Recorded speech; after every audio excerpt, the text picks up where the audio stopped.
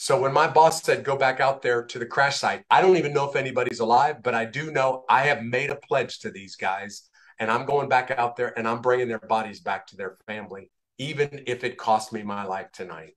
And I know my buddies would have done the same for me. So there wasn't a question of going back out. It was just a question of where am I going to find the strength or the courage? And when we get notified, hey, you got to go back out there and you got to get to the Durant crash site, it was pretty obvious. We don't have enough guns. I just asked all of the supporters, hey, if you've got a gun, would you be willing to jump on the Humvees with me?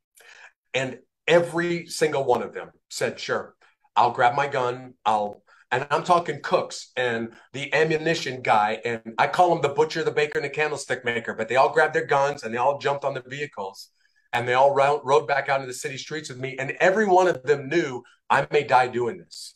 Um, but none of them hesitated, not one of them. And they stayed on those vehicles with me all night long.